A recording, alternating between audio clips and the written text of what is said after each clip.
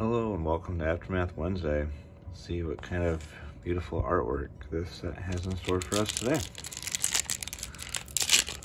I Actually got into this one quickly today. I feel like that in itself is an accomplishment. We have a Thopter and Treasure token. That's pretty nice.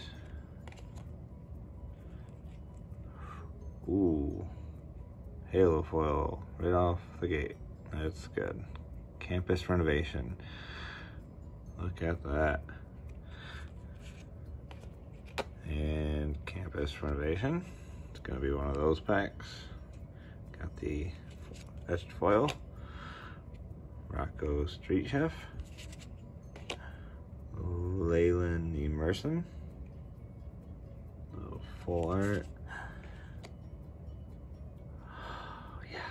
Nissa, Resurgent, Animist, Mythic, Showcase, Foil. That is awesome. And then Calix, Guided by Fate. Another Mythic.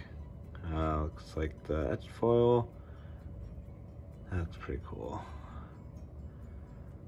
All right, well, that is, uh, that's very exciting. All right, thank you for joining me in this and make sure you like and subscribe. Check back next Wednesday, see what we can add to the set. Thank you.